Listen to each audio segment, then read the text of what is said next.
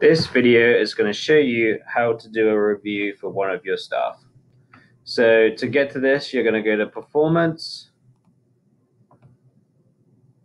and under Review Status,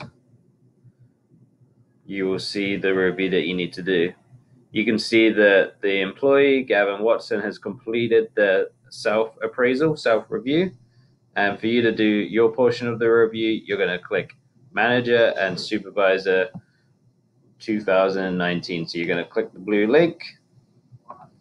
And here you could start doing your review. So you can read this top section. On the left here is the navigation toolbar. And let's go down to quality you can see what the employee put on their self appraisal, self review here, and then you can put your comments here if you would like. Please note I am just doing a test, so I'm going to go through this very quickly. But you can read the review item, and then your rating, and then again the comments down here from the employee. So the self-review mirrors this review. So I'm just going to go down quickly and put in some items.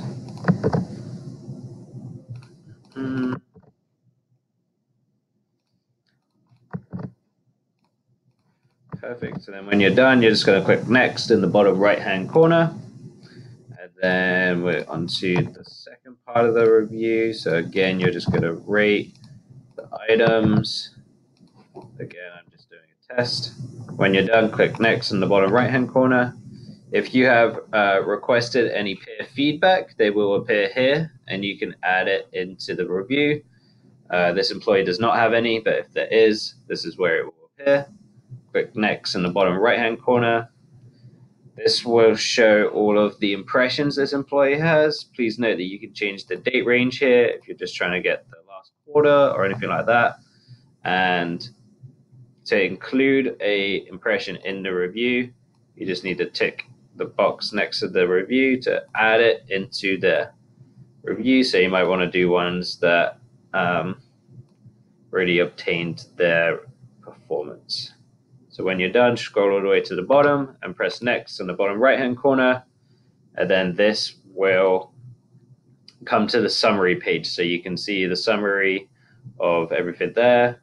And here at the top, um, there's two options. So make visible to employee. When you're done, you'll click this, and then this will go back on the employee so they can view and sign it and put any comments. If you want to reopen to the employee, so if you want them to change anything on their self review, you would click reopen employee. But the majority of people would just click make visible to employees.